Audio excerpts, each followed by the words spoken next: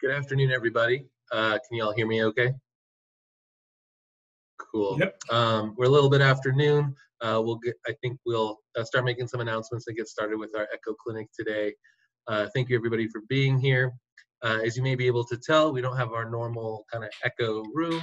Uh, we decided to kind of uh, practice social distancing, and so kind of all of our hub team members are logged on individually from their own uh, remote locations, but uh, we should still be able to uh, have the clinic because uh, here at Project Echo we do specialize in IT technology, and so I think we should be okay with all that.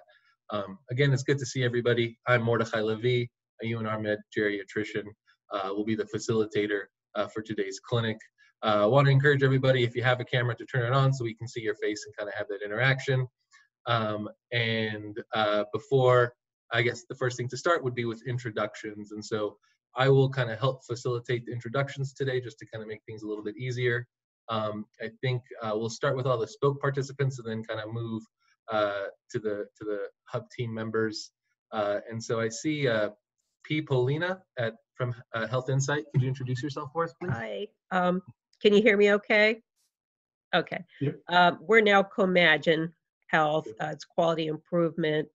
And I work on uh, uh, ATOP, which is a project to reduce avoidable hospitalizations in nursing homes. Many of uh, the people we work with have dementia, so that's an interest of ours. Cool. Great. Welcome. Thank you for being here today. Uh, uh, David Dalton, would you mind introducing yourself for us? Howdy, I'm David Dalton. I'm a family med and osteopathic medicine provider in Caliente, Nevada. Cool. Welcome. Thank you. Uh, and then I apologize if I mispronounce this name. Is it Kamisha? Hold on. How do I get off of oh, Am I on, off of mute? We can hear you. Yes, ma'am. Oh, okay. Sorry, I, um, Kamisha Kazi, HR coordinator for the state of Nevada. Cool. Awesome. Welcome. Nice to have you. Uh, then we'll move on to introductions from our uh, hub team. Again, I'm Mordechai Levy, UNR Med uh, geriatrician. Uh, we'll move move next to Leslie Baker. Uh, you might need to press. Now we can hear you. You can hear me? Yes. Okay, sorry, I'm having some technical challenges here. I'm Leslie Baker. I'm the geriatric pharmacist at the Sanford Center for Aging. Cool. Thank you. And then Patty Swagger.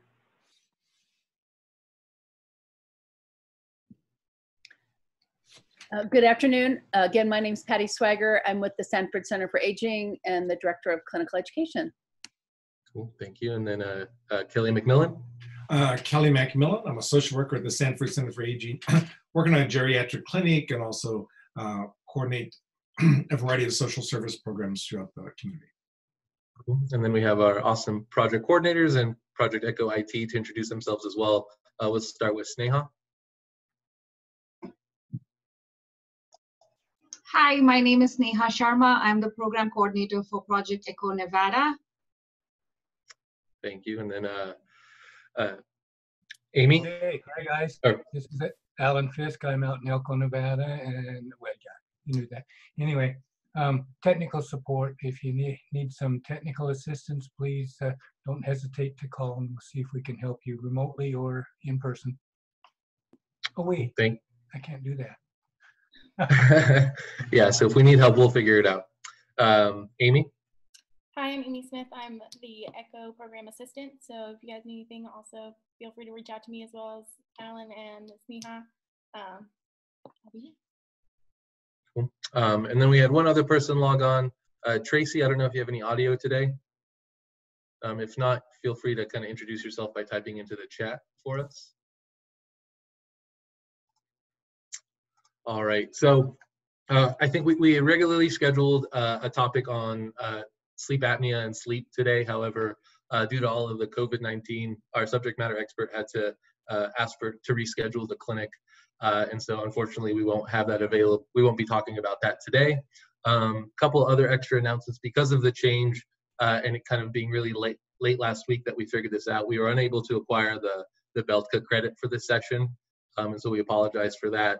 Um, and then if there's any kind of other questions about the credits or certificates for this kind of patient engagement series, uh, just email us at Project Echo Nevada Um, we may be able to answer some of those questions now um, with Patty, uh, but Troy, uh, our program manager at Project Echo, will also be able to help. So if there's any questions about that, type them into the chat um, or just kind of feel free to talk and we can answer those questions.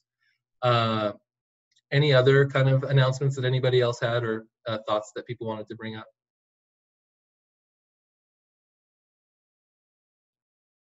Okay. Um, I think with that being said, I also want to make another kind of general announcement about uh, Project Echo. Uh, with the COVID-19 uh, kind of sweeping our country and kind of all of these questions, we do, I want to make sure everybody's aware of our antibiotic stewardship uh, Echo Clinic. Um, we ha are having one this week on Thursday at 12:15. Uh, same channel, same link, same website. Um, and so I encourage anybody that has more questions about COVID-19 or is looking to learn more, uh, encourage them to log on to that to that clinic. Um, for today, to kind of come up with a topic, I, I, am going to offer a little bit of information on um, COVID-19, but then move on to kind of neuropsychiatric symptoms of dementia and how to kind of manage those with non-pharmacologically um, is going to be the main topic for today. Uh, but before we move into the didactic, I also want to give everybody a, ch uh, a chance that has any patient cases or questions. Um, I think I didn't notice any extra cases get, I haven't looked in the last morning, uh, but as of yesterday, we hadn't had any cases uh, submitted via our, via our online form. Does anybody have any kind of geriatric related questions that, uh, that we can help out with today? Okay, well, if anything pops up, feel free to um, type in the chat or just start to speak up. I'm not going to be able to see most of you today, so I'm going to count a lot on Amy and Sneha to interrupt me uh, to, to let me know if there's a question um, because I'll be having the PowerPoint up. Um, so let's see. I'm going to be sharing the PowerPoint here. Oh no.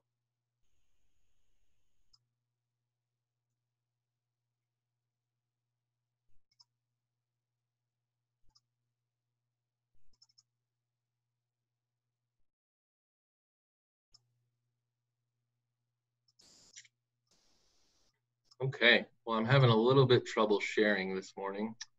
Um, I can share it. Do you want me to yeah, share I it? guess you'll have to share it for me. Thank you, Sneha. No problem.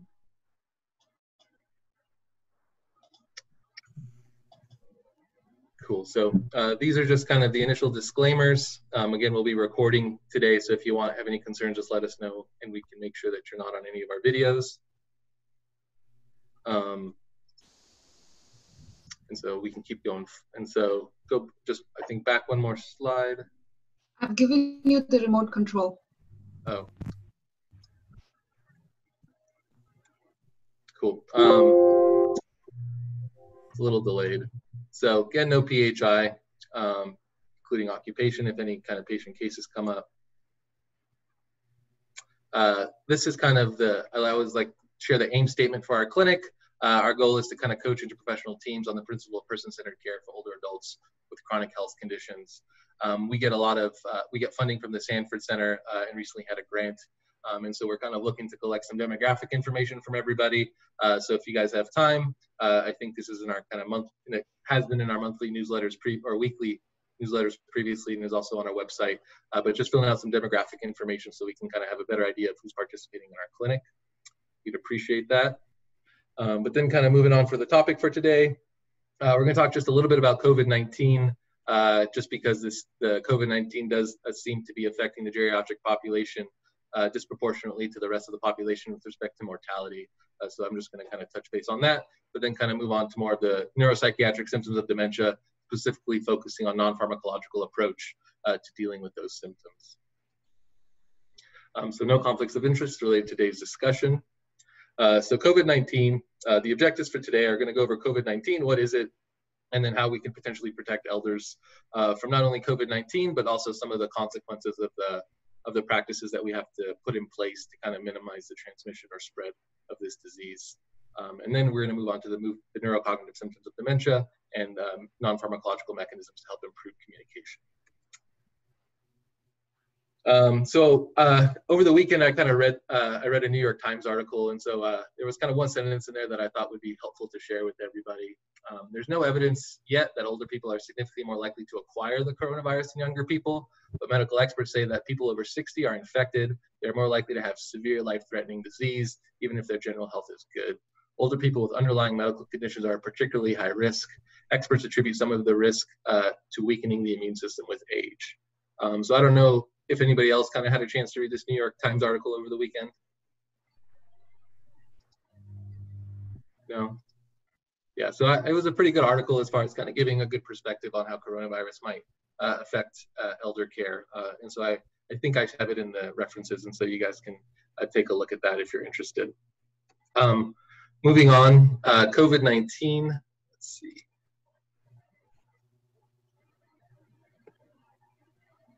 Um, COVID-19 stands for Coronavirus Disease 2019. You guys also might see SARS-CoV-2. Uh, SARS is, stands for Severe Acute Respiratory Syndrome from the coronavirus 2, uh, often kind of referring to the people that have that really acute critical illness that requires people to be hospitalized. Um, for people that are exposed to coronavirus, it's about five point, uh, these are kind of the, from initial cases from China, uh, don't necessarily have data that's pertinent to the US. Um, but in China, when this kind of originally happened in Wuhan, it was about 5.1 days was the median time or the most common time before symptoms started to show up after they got exposed. Uh, and the longest time uh, to symptom onset was about 12 days, uh, which is partly why we think that 14 day quarantine, if you've been exposed, is such a good number.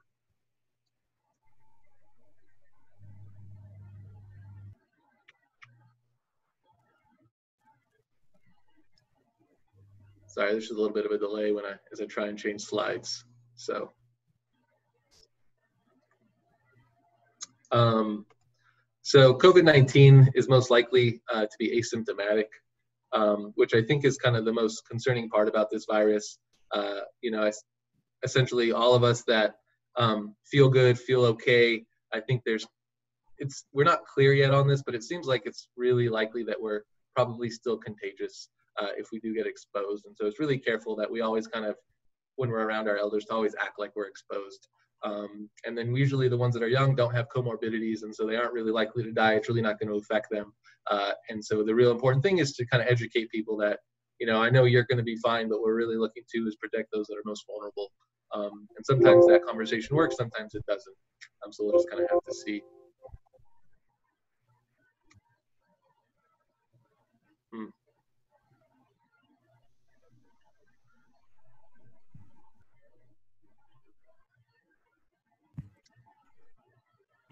Neha, are you moving that too or no?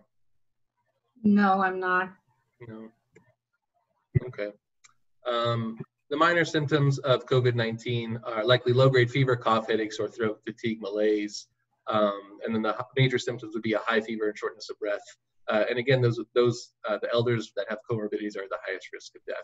A lot of this stuff we know, but just in case we hadn't been exposed to it, I kind of wanted to make sure we shared this um, shared this with the group. And again, we are going to be talking more about COVID-19 on Thursday at our antibiotic stewardship uh, Echo Clinic. So I encourage everybody to attend that if they want to learn more. Um, kind of this next part is kind of more of the geriatric focus is kind of how do we protect our elders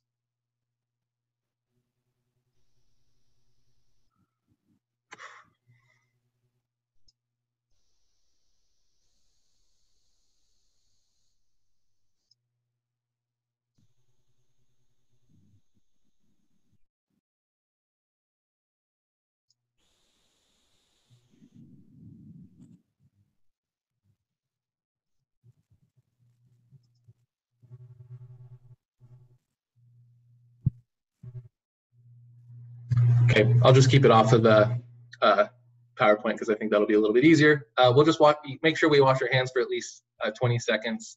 Uh, we want to make sure we practice social distancing, which essentially is avoiding non-essential travel. Over the last few days, the federal government is giving us, I think, more stricter guidance about how many people should be in groups, uh, you know, what, what they define to be non-essential work. Um, and then I think the more thing to note is that if you do have to contact with people, trying to keep about six feet apart is what people are saying as far as a good social distance when you do need to interact. Uh, and then always checking in over the phone rather than in person with these elders is preferred, especially for those that have multiple medical comorbidities. Uh, also thinks it's important to probably delay non-essential outpatient appointments uh, and then utilizing whatever telemedicine is available uh, for, for visits so that you can kind of interact virtually rather than in person uh, when that's possible. Um, and so the the big thing that I think uh, in the geriatric community we're talking a lot about, um, but maybe not missed in this in the mainstream media is that even before kind of COVID uh, 19 came out uh, and we started recommending all of the social isolation, uh, we were having lots of problems with loneliness uh, and social isolation uh, within our country. You know, in America, we don't necessarily have that kind of familiar structure where kids take care, of their parents as they get older. Often people go to nursing homes or continue to live independently in the nursing homes or in their own homes. and so I think the social distancing really has the potential to make this a lot worse. Um, here you can kind of see uh, just this year they kind of the CDC came out with social isolation and loneliness in older adults, uh, discussing the opportunities for our healthcare system in order to improve this. Uh, and so I just kind of want to make sure that people are aware that loneliness and social isolation was already occurring in our elders, and this is likely to make it worse. Um, Kelly, I don't know if you have anything else that you'd like to, to share on this. Yeah, I just would um, would add that um, I think what sort of exacerbates this is that the fact that uh, people may experience some social isolation, but they may have a little bit of contact with some people here and there. And now that's just really diminished. And um, it may, there may be a really strong reaction for older adults. If they're already uh, a bit lonely or socially isolated, they may have a lot more fear and anxiety that they're going to be neglected or forgotten in some sort of way. Uh, so I think um, if, uh, in terms of your practice, whatever, um, or if you uh, know people in your neighborhood, et cetera, and making a call, uh, checking with folks, encouraging others to do the same, I think is really valuable. Um, and I know uh, at the Sanford Center, um, we provide services to approximately 300 plus older adults who tend to be socially isolated. So we're going to ramp up some things. So we'll do some telephone contact, checking in with them, and also um, uh, finding out if they have particular needs and working with community services to uh, get them groceries or help them to get their medications, etc.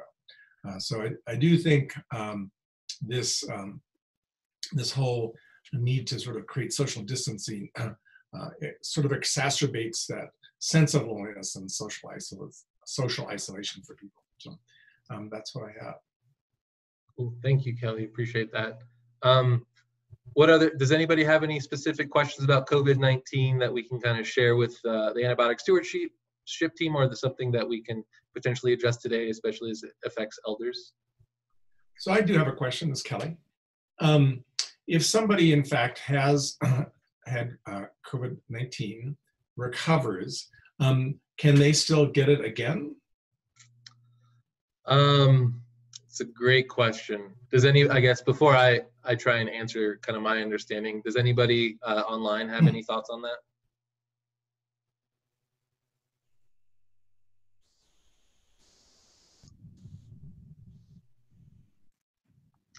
Um, so uh, I would, I, I don't think we know the answer to that question yet. I think we hear some things going on about that. Um, it's not common, I, as far as I know, for respiratory viruses to be able to be reinfected within the same season.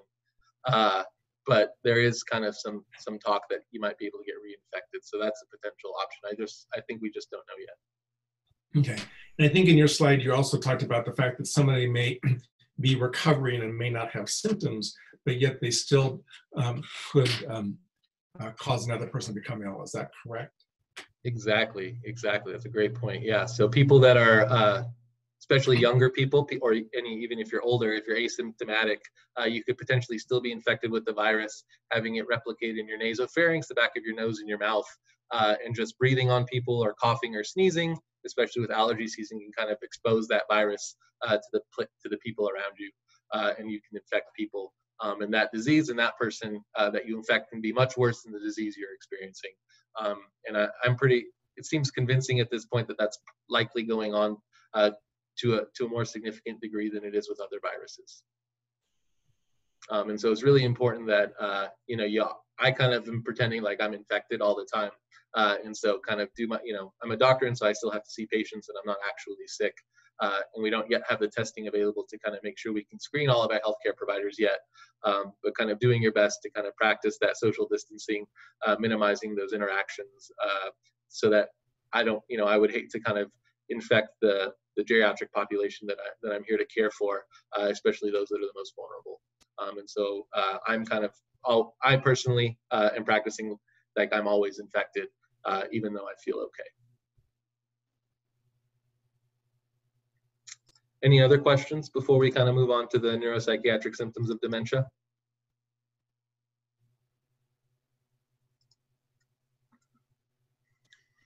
All right. Um, so moving on to kind of the neuropsychiatric symptoms of dementia or otherwise dementia with behavior disturbances. Um, some of you may recognize that from your ICD, ICD-9, ICD-10 coding. Um, what I really kind of think about this lecture as is a kind of a guide to communicate with those who aren't able to. Um, as you develop dementia, uh, your ability to not only respond to your body, but respond to your environment changes. Uh, and often when people have behaviors um, uh, or certain or differences in their affect and their mood, uh, often that's a result of internal or external environments. Uh, and so trying to figure out uh, what that might be is kind of what, what I'm hopefully gonna be sharing with you all today. Um, before kind of talking about exactly how to address those uh, neuropsychiatric symptoms, I think it's always important to actually define what those uh, symptoms are. Uh, here you see a long list, ag aggression, agitation, depression, anxiety, delusions, hallucinations, apathy, disinhibition, wandering. Uh, this is just a partial list. Uh, depending on kind of what evidence-based source you go to, you'll find different lists with different uh, types of symptoms, but this is a, a common list of symptoms of things we commonly see. Um, I think the most important thing to do when you're kind of thinking about somebody with dementia that's having a behavioral issue is kind of seeing, putting it in the right bucket. Like what are we, what behavior are we actually dealing with? Um, you know, is this person actually being ag aggressive? Are they actually coming towards me, trying to be violent towards me? Or is it more of an agitation where um, I'm coming up to them and I'm trying to provide them some sort of care and they get agitated and kind of get away? Um, you can tell when people have a little bit more depression or anxiety as well. You know, is there certain situations or certain people, certain tones of voices, certain rooms that cause people to kind of get anxious? Uh, delusions are false, false fixed beliefs. Um, hallucinations are uh, visual or auditory, uh, sometimes tactile or olfactory, uh, but much, much uh, usually visual or auditory uh, perceptions of reality that aren't really there. Apathy, uh, easy to, sometimes difficult to differentiate between depression, uh, but essentially just not really, not really caring about what's going on. disinhibition, that's something I commonly see. where people aren't really able to control their their initial thoughts or their initial actions, and so people kind of can have be verbally aggressive, um, or they can kind of get up without without without wondering, uh, without kind of any notice. Um, and if people have uh, physical debility, that can be quite dangerous. Uh, and then also wandering, where people can just try and leave and they won't remember where they are. They can get lost. They can get hurt by the environment. Um, and so these are all different examples of neuropsychiatric symptoms of dementia. Um, would anybody want to add something to this list that, that is missing that they think is important to share with the group?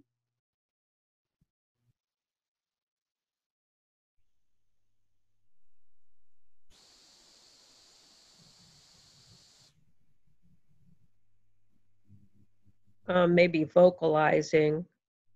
I, I don't know if that, maybe that comes under anxiety because they do it because they're anxious sometimes. I think that's fair, yeah. Um, vocalizing, I think that's a good one. Thank you. What else?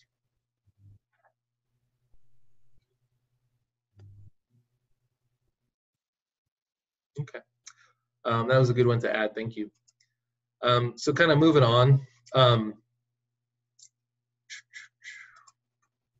Um, you know, this is a really common thing that happens to people with dementia. Uh, dementia is a syndrome, you know, has multiple different causes like Alzheimer's or vascular or Parkinson's or Lewy body or a bunch of other ones. Uh, but if you take all of the people with this dementia syndrome, 98% of them will at some point in their disease will have a neuropsychiatric symptom.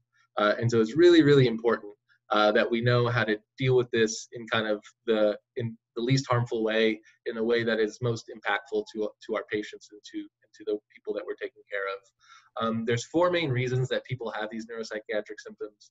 Uh, often it's a result of an unmet need, an environmental overload, such as sounds or people, uh, interactions of the individual caregiver. Um, people, rare, people do not seem to lose their ability to read, to read your affect, read your tone, uh, read your body language, even if they have dementia. And so all of these nonverbal communication skills people are aware of, and that can really affect the way they interact with you as well.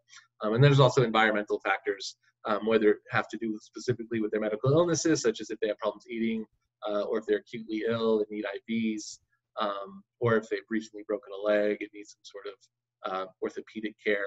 Um, or have limited mobility due to that. Usually, that's kind of the neuropsychiatric symptom is usually due to one of these four factors. Um, and kind of often, uh, most of us are aware of these things, but often we don't necessarily have a a systematic approach on how to kind of affect these things. Uh, and so a few years ago, um, they kind of have evidence, an evidence informed, but not necessarily an evidence based model to kind of help improve our ability to kind of go systematically through uh, addressing these neuropsychiatric symptoms of dementia. And, and they kind of call that the DICE model. Um, I gave this lecture, I think, I don't know if it was six months ago or a year ago, um, or uh, to everybody. And so this might be a repeat for those of you that were there. Um, but I really like the DICE model where you describe, investigate, create, and evaluate um, a way to kind of deal with this neuropsychiatric symptom. And so I'm going to go through the DICE model, um, the DIC and E. Uh, again, this is an evidence-informed, not an evidence-based medicine. Um, and uh, the article, again, it's referenced at the kind of end, uh, is I think does a much better job of explaining the DICE model than I'm able to uh, today. And so I encourage you all to kind of read that as well. Um, but we'll kind of go through it now. Um, so the first D is describe. Um, and so somebody's coming up to you uh, saying they have um, essentially uh, having a neuropsychiatric symptom. The most important thing to do is have the caregiver play back the symptom as if it was in a movie. You kind of want to have a step by step. Often people try and interpret uh, the behavior right away. Often people have their own perspective. Um, and so it's really important that you do your best to kind of get the most objective information that you can. Uh, and this is what we do in Describe. Um, but not only should you kind of get the caregiver's perspective, the person taking care of the person with dementia, you really need to get the patient's perspective. Um, I can't tell you how often uh, the patients kind of remember these symptoms and can kind of tell you exactly why they were angry in that situation. Uh, and you know, and so that gets more and more difficult as the dementia syndrome progresses. Uh, but especially in the early dementia syndrome, and even in moderate to severe, sometimes people can remember these things uh, and they can tell you exactly what they were thinking and how they were feeling during those times. Uh, especially because they're really emotionally charged. And as we all know, the more emotionally charged something is, the more likely we are to remember it. Uh, and so it's really important to elicit the patient's uh, perspective on these. Um, and then again, uh, we, when you're describing that, you kind of want to ask them what the most distressing part of the behavior is. Um, you know, often we will assume, you know, that people don't want to be hit or people don't want to be talked to a certain way. Uh, but you'd be surprised how often that doesn't bother the patient or the caregiver. Uh, how often some of these behaviors kind of uh, essentially were going on before the dementia even happened, uh, and those aren't really the most distressing things to them. And so it's really important that you find out, you know, was it the, is it the fact that they're just not bathing that's uh, most important, or is it the fact that they're hitting you while they're trying not to bathe that's most, that you're trying to that you're trying to address? And so making sure that you're clear as far as what behavior uh, you're dealing with is really important. Any questions about describe uh, before I move on?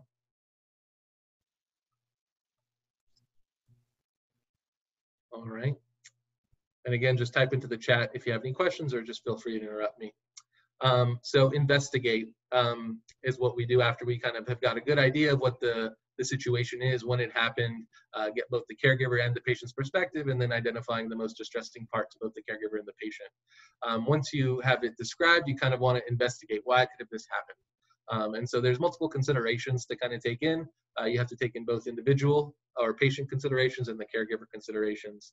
Uh, this is very similar to the workup for delirium uh, from my perspective. You really need to make sure there's not an acute medical issue going on. Maybe they have really bad COPD and they're in exacerbation and they can't breathe.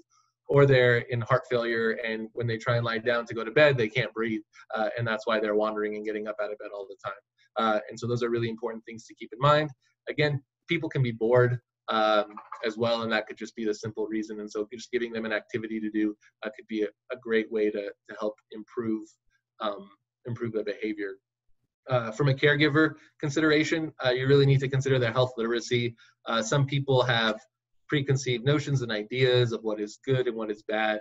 Uh, and so uh, understanding why they acted a certain way or what they're hoping the interaction is uh, is really important. Uh, and then kind of knowing the family culture or like the, the dirty laundry is what they say in the um, in the article. Uh, essentially, these are kind of things that we really need to acknowledge, uh, but we don't really want to address or fix because that's kind of really out of our scope. Uh, people have certain ways that they live their lives and interact with each other. Uh, and so understanding what that family culture is is really important as you kind of investigate uh, why this neuropsychiatric symptom might be happening. Um, I'm a big checklist guy, and so here's a little checklist as far as when you're investigating this neuropsychiatric symptom of dementia. I always encourage people to just kind of pull this out, uh, make sure they did all of these things. Um, you know, elicit the caregiver's perspective, elicit the patient's perspective, uh, review um, medical history, review the psychiatric history, assess for any sensory impairments. Maybe they just can't hear or see you when they're trying to talk to you. Uh, is there pain? Uh, maybe they have bad arthritis or bad back pain. Uh, and that's why when you try and do certain mobility things, they start to hit you or start to be more aggressive or agitated. Um, sometimes people can have a new medical condition. Uh, as we get older, uh, you can still develop gout, you can still get infections, and so making sure none of those things are going on. Um, and again, you want to assess for any worsening of any chronic or uh, chronic medical or psychiatric condition. Uh, sleep hygiene is also really important. Uh, sleep hygiene involves a lot of uh, improving people's understanding of, of normal sleep as people get dementia.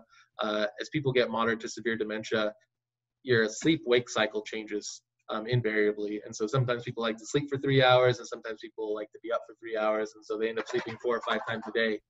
Um, but uh, uh, and that's just kind of the way they are. But and so you kind of have to meet the caregiver and the patient kind of where they are because in some environments that might be okay. There might be caregivers available to be available every three hours or so. But in other environments, you know that that might not work. You know they might need people to kind of be awake for three hours. Um, this is my dog, if you guys can see him. Uh, and so medication reviews are also helpful. And then uh, again, modifying the way we approach the situation that results in the NPS. Again, a lot of it could just be due to our body language or the, our tone of our voice. And so making sure we're mindful of that or the caregiver is mindful of that to kind of minimize that behavior. Um, any questions about investigate before I move on?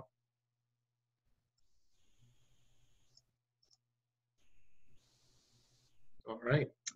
Um, and again, just feel free to type into the chat.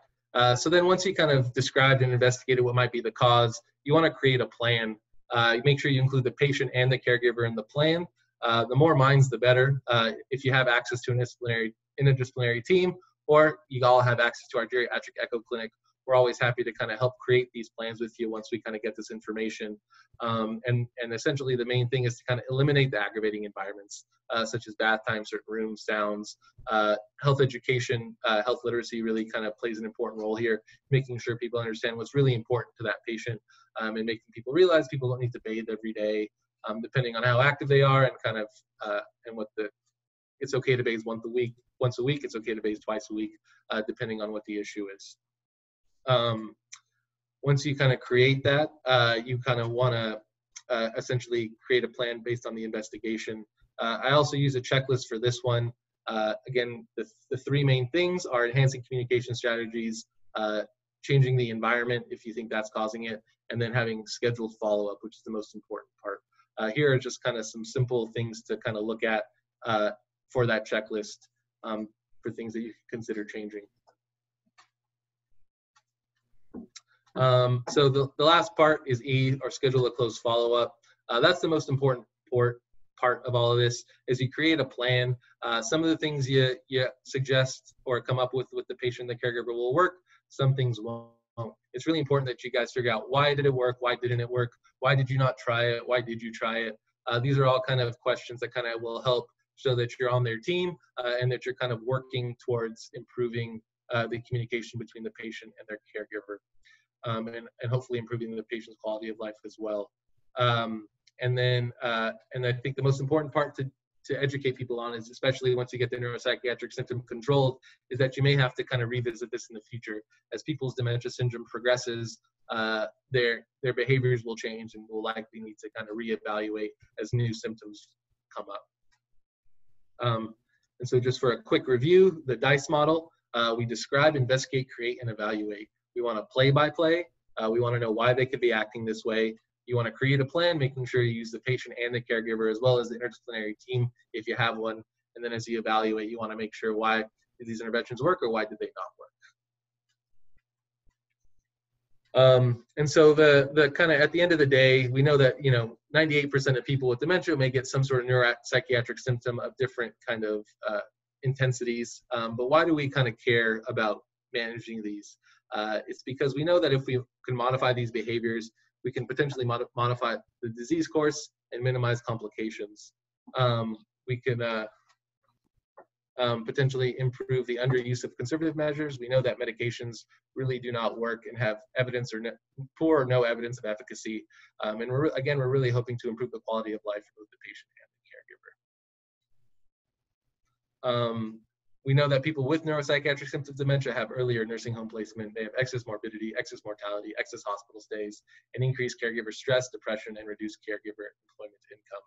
Uh, and so these are all the reasons why we want to do our best to kind of manage these symptoms conservatively and not use medications if we can. Um, and so that is kind of the, the quick rundown on uh, neuropsychiatric symptoms of, of dementia, a non-pharmacological approach uh, using the DICE model. Uh, the last time we gave the discussion, Kelly Presser, who was unable to make it here, also again gave us the VA ABC model of, of, of treating these symptoms as well. Uh, and so what questions can we answer or can I answer about the neuropsychiatric symptoms of dementia?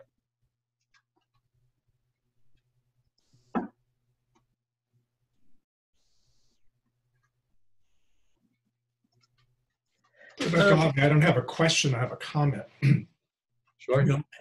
Um, it was in your, the creation piece and uh, including the family and, and those kinds of things. Um, in our clinic, we find that sometimes families don't understand this the condition at all, and so uh, you know, getting the education and support from Alzheimer's Association and community resources is really really important in a lot of ways, um, and helping them understand it's an ongoing sort of piece. Uh, and the other thing that um, we see frequently in our clinic is that families believe they're not doing enough.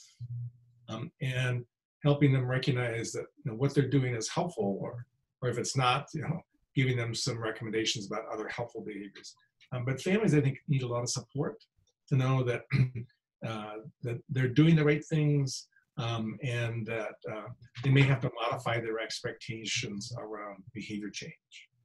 So um, I just think um, uh, like I said, uh, your point about including family just becomes so important. And typically, they're the, they're the ones who come in with the concerns uh, and helping them to recognize that um, uh, it's it, uh, it the situation can change consistently over time, and to be prepared for that. Yeah, great point. Thank you, Kelly.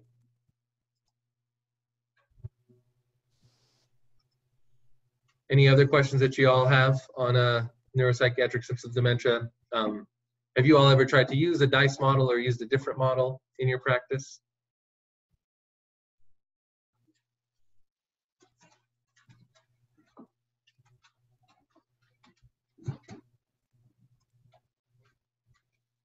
Okay. Um, well, I guess I don't I don't see any questions. Um, uh, I'll just kind of make an announcement for our next clinic.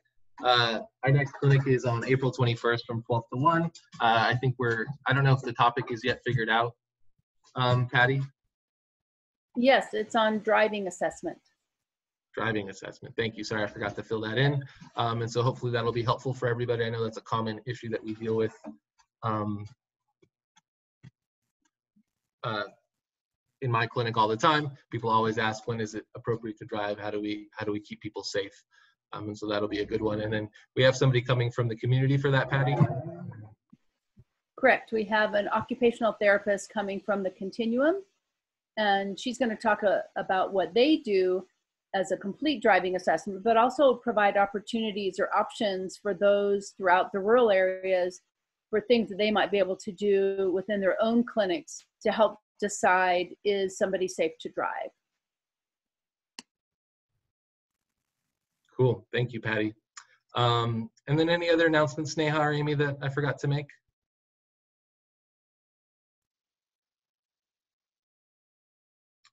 Cool. All right. Well, we'll uh, we'll No, log on. We'll like- oh. Sorry, I didn't mean to interrupt. Uh, There seems to be a question from Dr. Bayan. He says, appears DICE model similar to other assessments?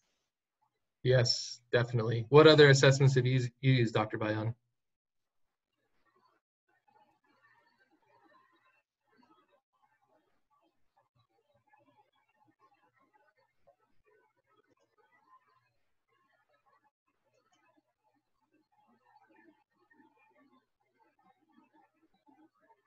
Good old H and P.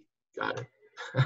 uh, history and physical. Um, yep. And so the good the dice model is definitely very similar to uh, history and physical, um, uh, but just can, can give a little bit more structure when specifically dealing with the neuropsychiatric symptoms of dementia. It's a good point. Thank you. Uh, but the plan in- that includes family members is a definite yes. So cool. Glad we do that as well. Um, anything else? Um, th- This is Patty. Um, I think one of the difficulties is, is the communication barrier with some of the very demented patients. You're trying to find out, you want to help them. It's very hard for them to express what's bothering them sometimes. And sometimes it's something like, uh, you know, they're describing something about, I mean, I removed a plant from someone's room because they were um, having some delusions about it. Um, but but and then some of the very upset patients when they get really upset it can be hard to find out what is bothering them and what you can do about it Yes, that's a that's a great point. Um, I find that uh, recognizing it as you kind of are um, is really the most important portion, uh, and then kind of doing your best to kind of trial and error is often, you know, when you create that plan, uh, kind of coming back to it to see if to see if it was effective or made things worse or had no effect. Um, and then again, just being aware of the recent things that have changed, right? Because often uh, it's the environment that's changed. You don't often see um, people have big switches as far as their symptoms. Usually it's a gradual change over time uh, that their caregivers can notice um, that, you know, they're just getting a little bit more agitated over the last week. Um, but if you have this big sudden change in people's behaviors, uh, you really need to think what acutely could be going on. Sometimes it's actually a delirium, uh, which is much more common in our demented uh, patients with dementia. And so making sure there's nothing reversible uh, as well. Um, but yeah, sometimes people people love their plants, people love their animals, um, people love certain blankets, uh, and so removing those from their environment can have serious effects on the way they interact with us. Good point. Thank you.